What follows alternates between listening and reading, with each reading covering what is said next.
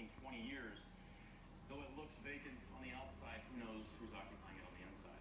Maybe it's just a constant war, the living versus the dead. We want to document this evidence that everybody's talking about. Mhm. We are the trigger object. Use our energy, come and get us, and we'll document it. Chillingly, the most commonly documented sightings at Moon River are child spirits. On a busy Saturday night, I was upstairs on the second floor going to get some paper supplies. I walked across the main hallway and I saw a little girl in a white dress. Kids, you're seeing children here. There's a lot of things that happen down here that you would only assume it would be children. You know, things move. You know, a lot of things are hidden. The pool table is played with constantly. Mm-hmm. You put all the balls on here right now. Come back in 10 minutes. A couple of them at least will be gone. But there's one rowdy spirit who nearly every staff member has encountered. In fact, they've even given him a name. Tell me where Toby runs around. where he's been seen is running around these rooms see shadowy figure just run by. Guys, why don't we put an X over here? Okay, and we'll shoot it over here and see if we can get Toby. Do you have any idea where these children might come from and if they are ghosts?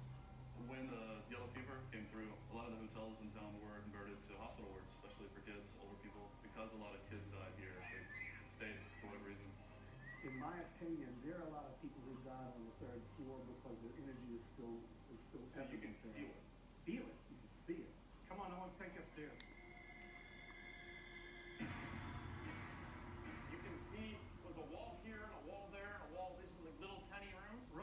You got one fireplace at the end of the hall.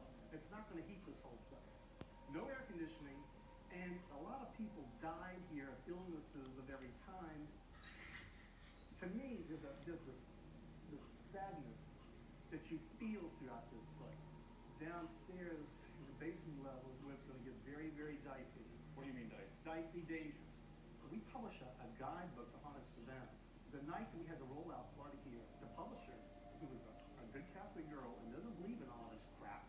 she was attacked physically. She was attacked. Attacked. Her family is so extremely Catholic. If you had mentioned this, these people tell you delirious. In fact, I've invited her here today to talk to you.